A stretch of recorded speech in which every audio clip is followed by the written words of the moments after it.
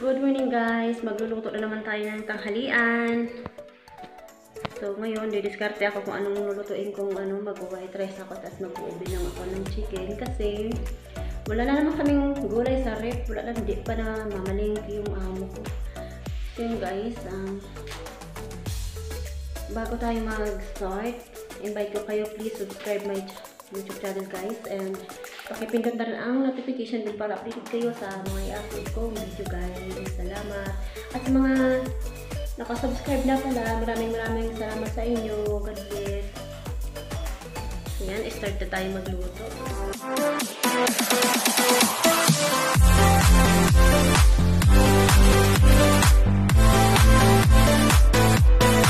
A few moments later.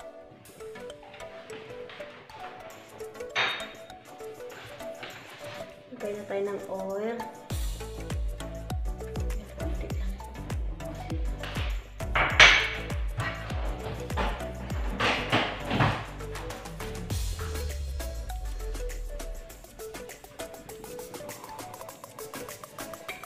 Bawang. Ako lagi ako nag pag nagluluto ako lagi kong inuuna ang bawang bago sibuyas.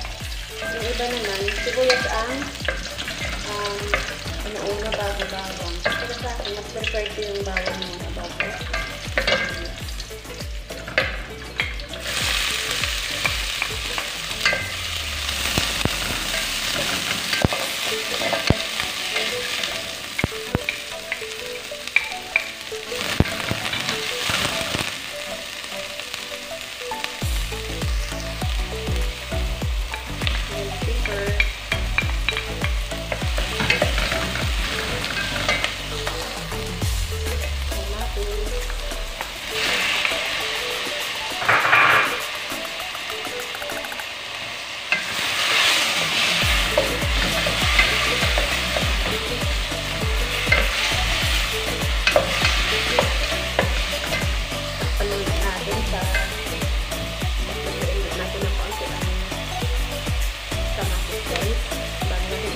Chicken.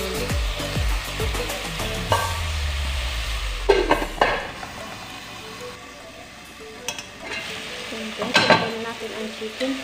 Pasensya na kayo guys, laging manok yung mino ko dito. What? Wala talagang ibang pwedeng lutuin dito na ano. Laging manok yung ulam namin. Araw-araw talagang kaya naminis ko yung pagkain Pinoy. eh.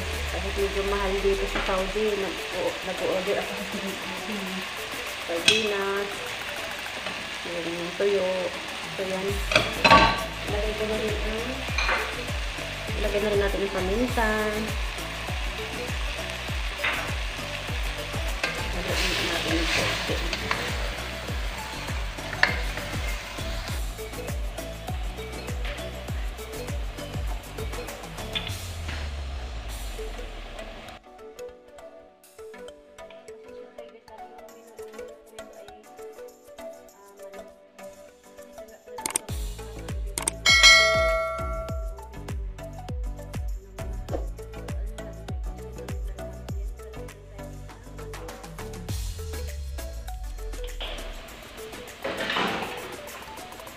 Big. Tapan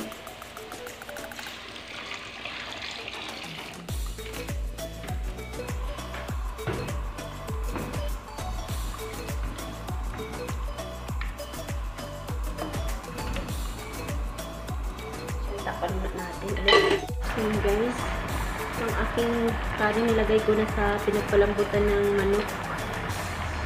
Yung chicken ay, or yung manok, yung English pala, ay nilagay ko sa, inobin ko siya. Tapos, magluluto naman ako ngayon habang nagpapain-in. Magluluto ako ng sabaw nila, tomato soup.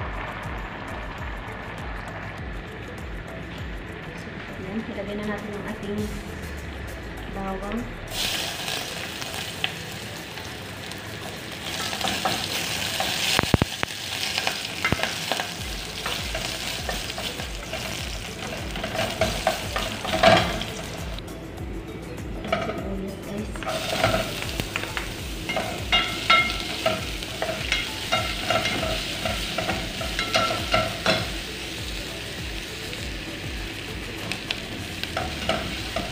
Pinag-blender ako ng tatlong medium size na kamatis. Tapos sinaluan ko ng isang carrots para pang pa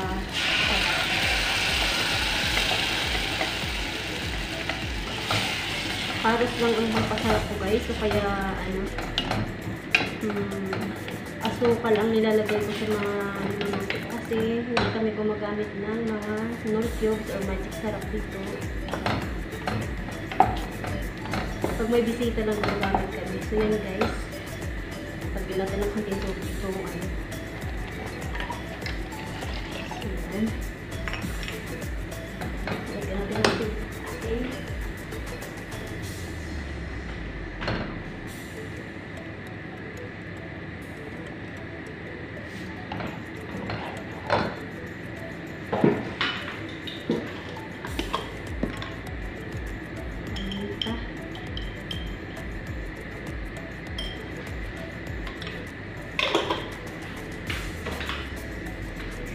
Turmeric.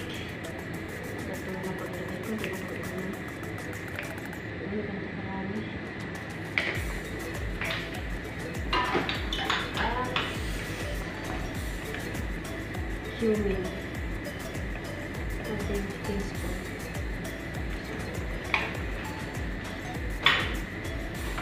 Dagdag tayo ng tubig mamaya pag ano ko siya kaya ito marami. Ano na to? Then guys, atin lang ito pakuluin ng mga kahit 15 minutes. Then pwede na to. Titikman pa naman natin mamaya bago natin patayin ang apoy. Magdagdag tayo ng kunting asukal. Kung hindi pa siya masarap sa panlasa.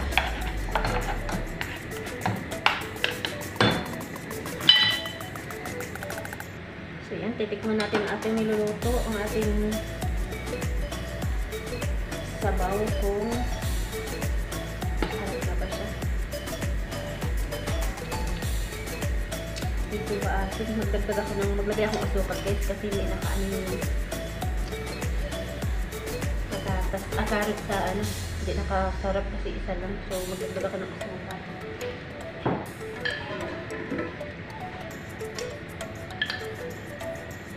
Lagay ako ng ganda karaming asukal para pang masarap.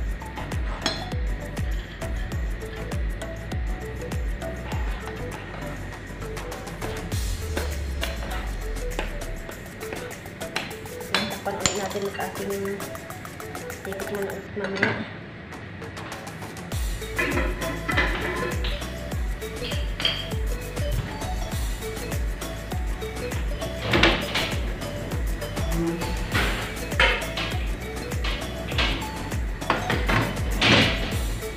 Ito na ang aking oven chicken. Ito. Ayaw niya nang inaano sa api kaya tinakpan ko ng mga kamatis na ginamit ko pagpakulo kanina. So ito lang talaga yung pina-golden brown ko. So yan guys. Titikman natin ulit ang ating sabaw kung okay na ba. Yun, okay na siya guys. Kunting pakulo na lang. Pwede na to.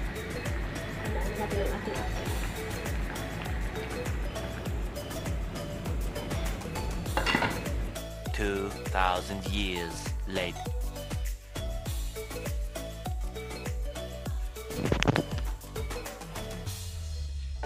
Thank